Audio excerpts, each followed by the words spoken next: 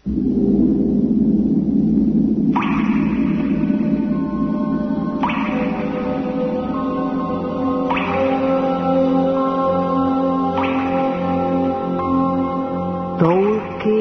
českou minulostí.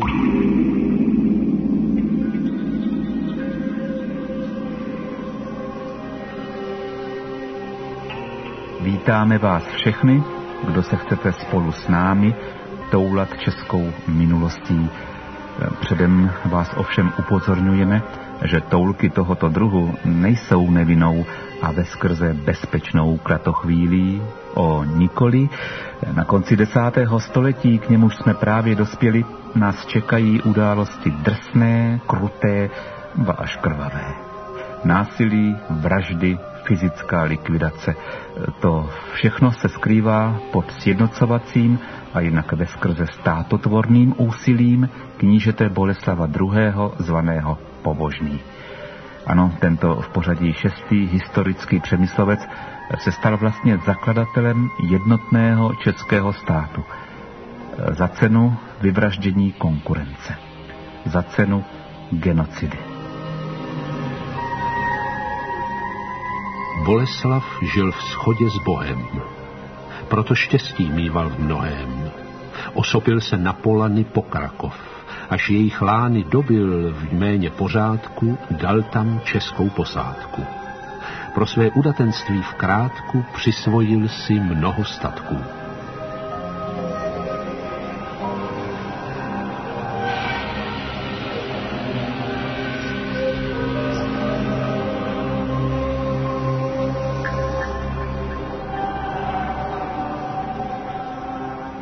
Moc českého knížete vzrostla už za rekordně dlouhé vlády Boleslava I. Podle některých pramenů sahalo jeho panství až do polského Slezska a Krakovska. Někteří starší historikové soudí, že v souvislosti s porážkami Maďarů O ty se Boleslav také zasloužil, jeho oddíly proti ním bojovali na Jižní Moravě i u řeky Lechu. tak tedy, že v souvislosti s nimi získal český kníže i území Moravy a kus západního Slovenska. Boleslav II. se vydal ve stopách svého otce a byl ještě úspěšnější. Hranice svého státu posunul ještě dál na východ, zřejmě až k řekám Bugu a Styru. A tedy na dnešní Ukrajině to je někde mezi Kijevem a Lvovem. Tam se české knížectví dotýkalo hranic kijevské Rusy. Boleslav udržoval s Rusy vztahy vyvíjející se, V míru a lásce tak to aspoň tvrdí tehdejší kronikář. Byl dvakrát ženat, český kníže Boleslav II. pobožný. poprvé s anglickou princeznou Adiveou. S tou měl syna Václava, ten ale zemřel v dětském věku, a Boleslava III., řečeného Ryšavý. Po smrti Adivej se oženil s Emou, možná francouzskou královskou dcerou. Tam mu porodila syny Jaromíra a Oldřicha. Mezi námi ti potomci se příliš nevydařili. Triumvirát těchto ratolestí měl pro mladý český stát znamenat v blízké budoucnosti hotovou katastrofu. Ano, země jenom tak tak nepadla za oběť nezřízené rvačce o moc. On se tento zápas v různých obměnách dostavoval v přemyslovské dynastii skoro vždycky, jakmile se vynořili dva nebo ještě víc nápadníků trůnu. Ale to nás čeká, až překročíme onen poněkud magický rok tisíc po Kristu. Stále tu ještě máme poslední decénium Neboli desetiletí. prvního tisíce let našeho letopočtu. A uprostřed něj rok 995. Známe dokonce naprosto přesné datum, kdy se to stalo. Lépe řečeno, kdy to všechno vyvrcholilo. Výroční den úmrtí svatého Václava, tedy 28. září 995. Zřejmě na pokyn samotného šéfa přemyslovského státu byl toho dne vyvražděn rod slavníkovců. Kde se vlastně nacházelo slavníkovské území? Zahrnovalo pravděpodobně oblast severovýchodních Čech, tedy zhruba Horní Pojizeří a Horní Polabí, Čáslavsko a Chrudimsko, až k drsným výběžkům Českomoravské vrchoviny, plus Kladsko v dnešním Polsku. Zatímco státu přemyslovců se říkalo Čechy, Přesněji české knížectví. pojmenovává historik Rudolf Turek území slavníkovců Velké Charvátsko. Byli slavníkovci Charváti? Patřili do tohoto kmene?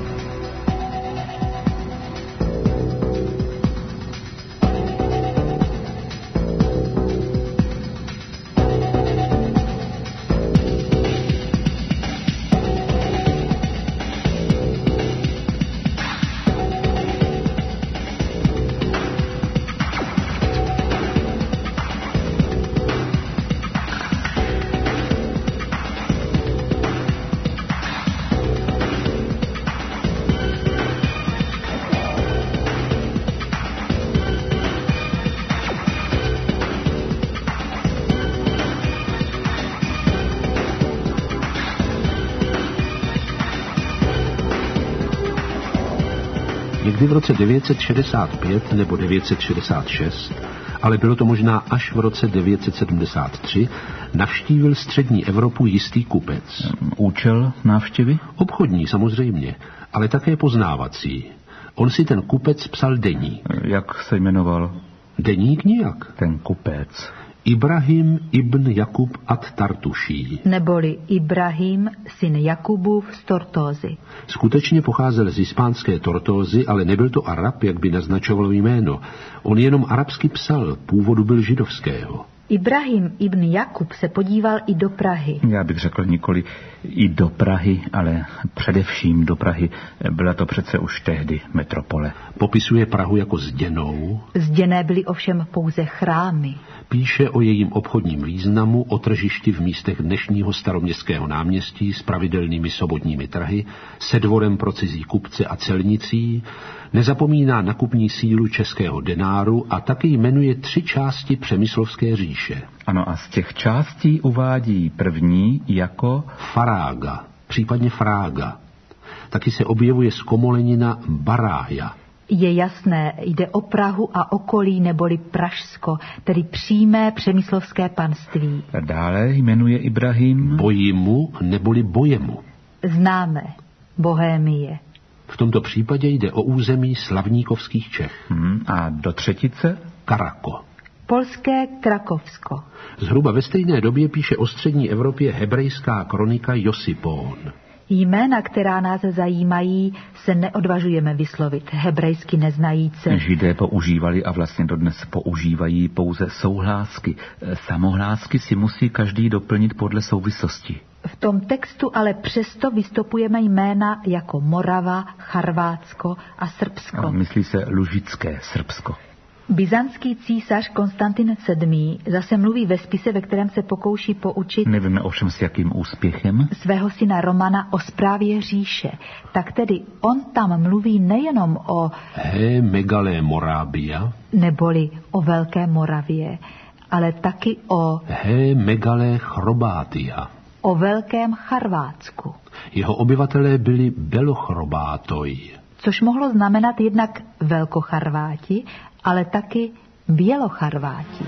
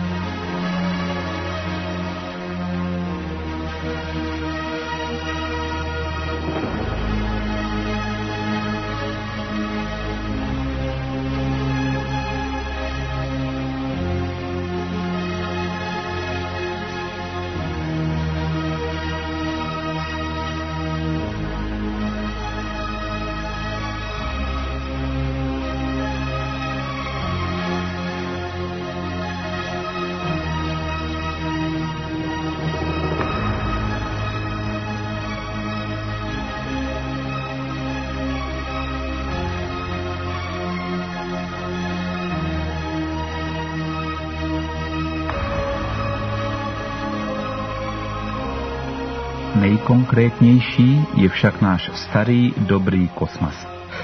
V poznámce k roku 981 uvádí, že zemřel kníže Slavník, ale hlavně, že Sídlem tohoto znamenitého knížete byla Libice. v latinském originále se jí říká Lubic. Libice leží v místech, kde řeka Cidlina tratí své jméno, ústíc do volnějšího toku Labe. Knížectví Slavníkovo mělo tyto hranice. Na západ proti Čechám potok Surinu a hrad, ležící nahoře, jež slove Oseka při řece Mži. Rovněž na jižní straně proti Rakousům tyto pomezní hrady. Chínov, Důdleby a Netolice až do prostřed hvozdu. K východu proti zemi Moravské hrad pod pomezním hvozdem ležící jménem Litomyšl až k potoku Svitavě, tekoucímu středem hvozdu. Na sever proti Polsku hrad Klacko, ležící nad řekou Nisou. Jména řek a říček s výjimkou Suriny jsou jasná. Potíže nedělají ani místní jména Libice, Litomyšl, Netolice. Slavníkovci během krátké doby spojili tři kmenové útvary. Velké Charvátsko, Severovýchodní Čechy. Zličsko východní část středních Čech, a Doudlepsko. což jsou Čechy jižní. To Doudlepsko používáme jako název území jenom eh, nouzově. Jestli šlo o kmen nebo o kmenový svaz, tak o tom se můžeme jenom dohadovat. Tento kníže slavník, dokud žil, šťastně žil. Ano, ale jaký byl slavník? A jací byli slavníkovci?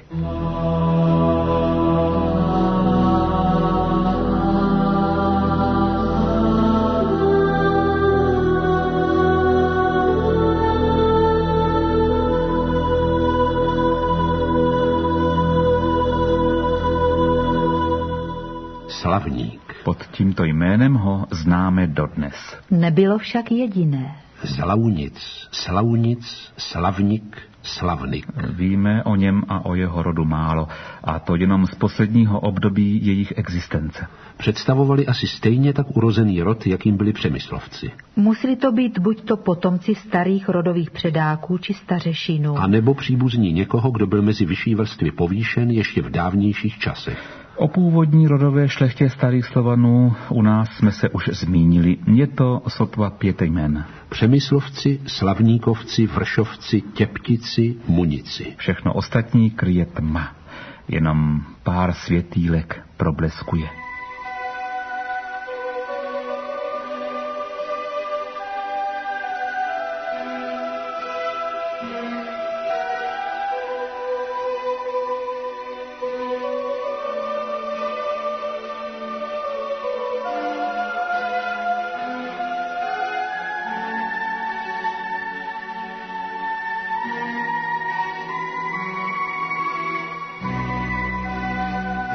Povaze a životě knížete slavníka vyniká velmi mnoho rysů pamětihodných, chceme pověděti přece aspoň něco málo z toho. Byl to muž tváře ke všemu veselé, v svých úsudcích ducha bystrého, v hovorech vlídný, bohatý statky světskými i duchovními. V jeho domě se skvěla poctivost a upřímná láska, spravedlnost soudů a hojnost předáků. V jeho činech se jevila znalost práva, podpora chudých, útěcha smutných, přijímání pocestných a ochrana vdov a sirotků. To tedy napsal Kosmas. Byl to muž tváře ke všemu veselé. Ano, to je velice zajímavý detail. Možná něco napovídá. Napovídá hodně. Kníže Slavník žil v manželském svazku s kněžnou Střezislavou. Ta přijala při běžmování nové jméno Adelburg. To jejich manželství prý bylo velice vášnivé. Střezislava porodila Slavníkovi šest mužských potomků. Ale ještě Jak si navíc? po něm zbyly i dcery. Počet není znám. A taky řada nemanželských dětí, neboť kníže byl povahy velice temperamentní, velkomyslné a bujaré. Nes jednou hřešil, ale se zástupem žen. To o Slavníkovi napsal hrabě Brun, životopisec Slavníkova syna Vojtěcha. Jaký byl vztah libického knížete k přemyslovcům? Bude to znít podivně, ale příbuzenský. Musel s nimi být nějak zpřízněn, protože byl zpřízněn i s jinými čelnými rody, údajně snad i s císařským. Není rozhodně náhodou, že až do smrti jeho ženy Střezislavy nedošlo mezi Slavníkovci a Přemyslovci k otevřenému konfliktu. Takže Je tudíž dost pravděpodobné, že Střezislava byla Přemyslovnou. Předmluva Kristiánovy legendy předpokládá a přímo uvádí příbuzenství slavníkovců s přemyslovci.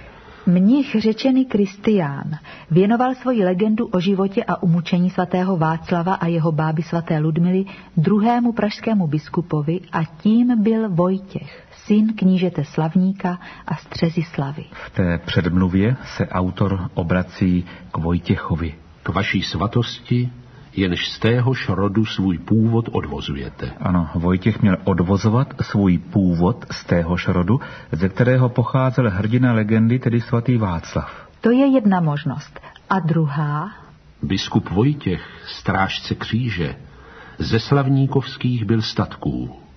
Ten měl Střezislavu matku a za ujce z ličské kníže. On si kronikář Dalimil někdy hrozně vymýšlí. Jindy však má údaje z pramenů dnes nedochovaných. Bylo by docela logické, kdyby sestra z lidského knížete byla slavníkovou matkou. Tím spíš, že slavníkovci se vlastně ujali z Ličska. E, ujali? To zní přímo dobročině. Když se dostali do křížku český kníže Václav a zličský kníže, Ten se možná jmenoval Radislav. tak Václavova mírnost umožnila ponechat věci v dosavadním stavu. To znamená, Že zličský kníže mohl ve své kouřimi klidně dožít. ale když byl Václav zavražděn, A když jeho bratr Boleslav skončil po 14-letém válčení napjatý vztah k Německu, tak kouřim přepadl a rozkotal. Na trvalé ovládnutí z Ličska však pražský kníže prostě neměl. A tak po pádu staré kouřimě zasáhli slavníkovci, přičemž sjednotili skoro polovinu Čech. tím si dovolili hodně. Ano, přemyslovci byli postupně ze svých východních sousedů slavníkovců nervóznější a nervóznější. Ani se jim nedivíme. Mohli očekávat, jestli se ten tým savníkovských bratrů náhodou nepokusí eh, podělit se o zděděné panství taky trošku na jejich úkor. Trošku? Kdyby došlo k dělení, tak by to bylo dělení zásadní a o všechno. Hmm, z toho vyplývají dvě základní a jak se zdá nepochybné skutečnosti. Slavníkovci přímou vládu přemyslovců na svém vlastním území neuznávali. A za druhé, Mocensky, územně i počtem členů svého rodu rychle posilovali své vlastní pozice. což obojí museli přemyslovci sledovat s rostoucí nevraživostí. Ještě krátce po smrti knížete Slavníka bylo politicky výhodné s pány Libice a celé východní poloviny Čech spolupracovat. Hm, Že by ale šlo o vřelé přátelství. To sotva. Spíš se jednalo o diplomacii, když Boleslav II. souhlasil v roce 982, aby druhou nejdůležitější funkci v zemi, biskupský úřad, obdržel slavníkovec Vojtěch. Jak dlouho trvalo, než se ti dva spolu chytli. Minimálně. Odpor a nenávist Boleslavova vůči přísnému biskupovi se rychle přenesly i na jeho rod. Tak to už tenkrát chodilo. Jenom tenkrát něco podobného můžeme lehce vysledovat i v moderní době. Když se o pár let později vztahy přiostřily, bylo třeba zapomenout na vzájemné příbuzenské svazky. Jasně, v očích přemyslovců se z takové přízně stala hrozba. Přátelství z rozumu definitivně skončilo.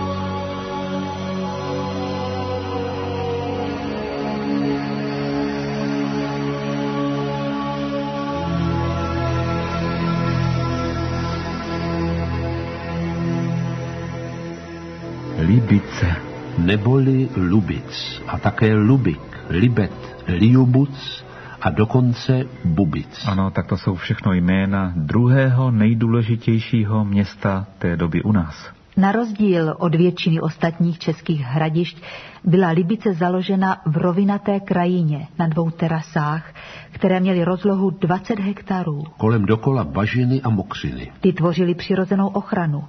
Libické hradiště bylo takzvané blatné. Základ Libice vznikl někdy ve století osmém při ústí Cidliny do Labe. Dnes je toto ústí vzdáleno asi jeden kilometr od obce, ale původně říčka Cidlina omývala západní obvod hradiska. Až do desátého století se v něm staví prosté dřevěné příbytky, vymazávané hlínou.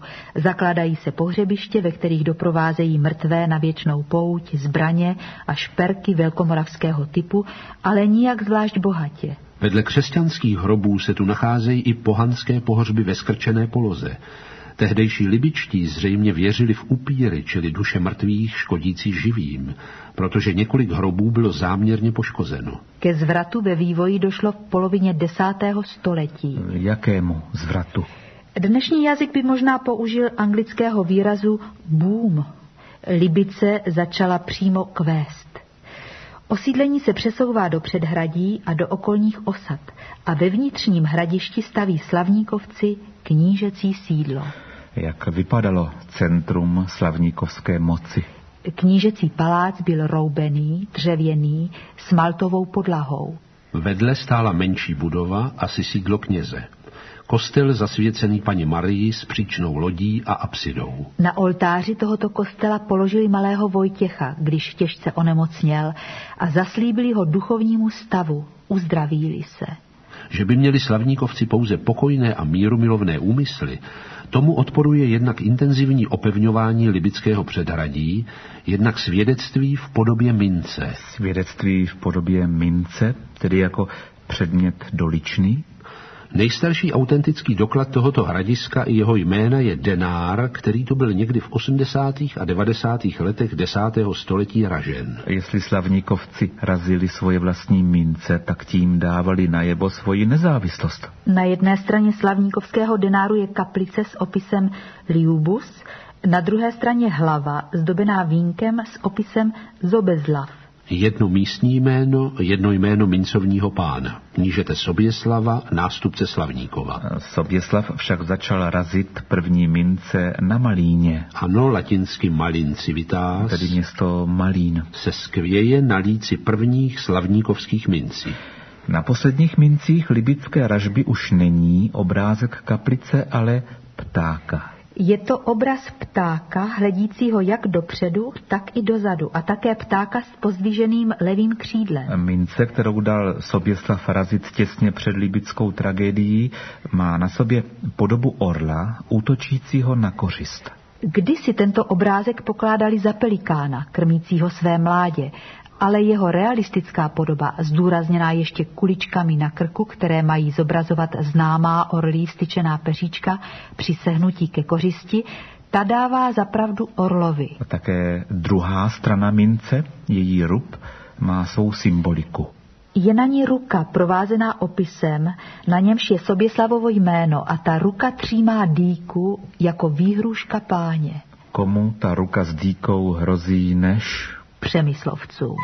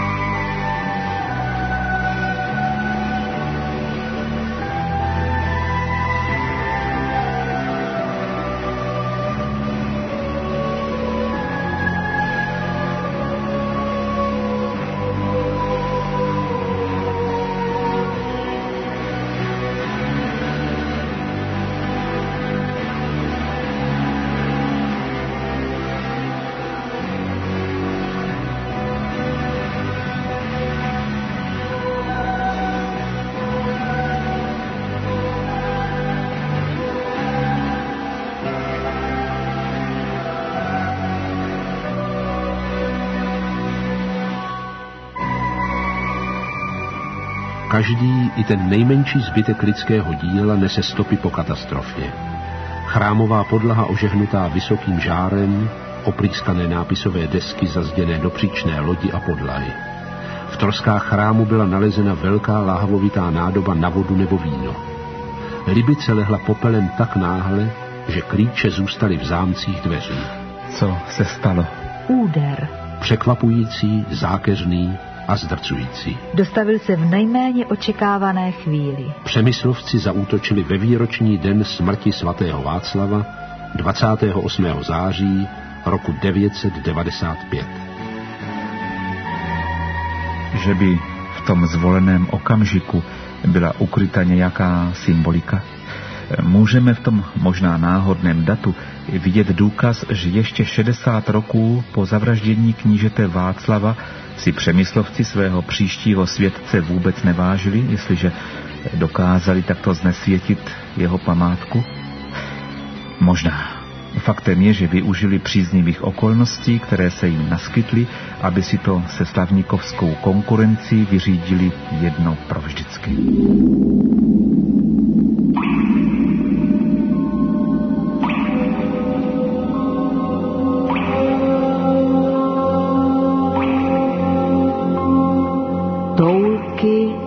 českou minulostí.